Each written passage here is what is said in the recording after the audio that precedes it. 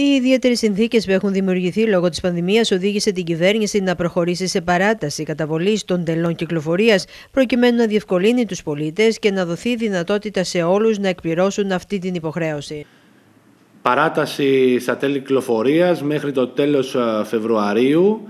Να υπενθυμίσουμε εδώ κάτι πολύ σημαντικό ε, για να μην μπερδευτεί ο κόσμος, ε, διότι υπάρχουν, υπάρχουν μεγάλα πρόστιμα. Ε, αν κάποιος έχει σε ακινησία το αυτοκίνητό του εντός του 2021, ε, δεν σημαίνει ότι μπορεί να κάνει άρση αυτής της ακινησίας και να ε, ευεργετηθεί από αυτούς τους δύο επιπλέον μήνες.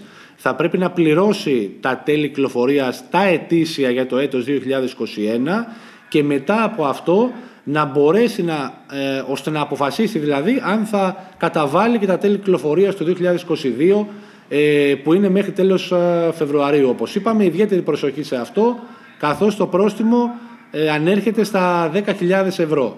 Την ίδια ώρα και με στόχο να δοθεί μια μικρή ανάσα στις επιχειρήσεις που έχουν πληγεί πολύ από την πανδημία, δόθηκε παράταση και για την πληρωμή της επιστρεπτέας προκαταβολής. Έχει δοθεί σχετική παράταση για την αποπληρωμή τους. Η πρώτη, η πρώτη δόση μετατίθεται από το τέλος Ιανουαρίου για το τέλος Ιουνίου.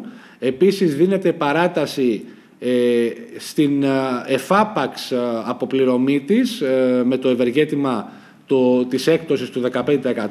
Αυτό μπορεί κάποιος να το κάνει μέχρι και το Μάρτιο, οπότε θα πρέπει να σκεφτούν όλοι όσοι εισέπραξαν ε, τις εν λόγω επιχορηγήσεις αν θα αποπληρώσουν μέχρι το Μάρτιο με έκπτωση 15% ή αν θα επιλέξουν να ε, ξεκινήσουν να αποπληρώνουν σε 60 δόσεις που είναι μέχρι σήμερα, ε, αρχής γενομένης από το τέλος Ιανουαρίου.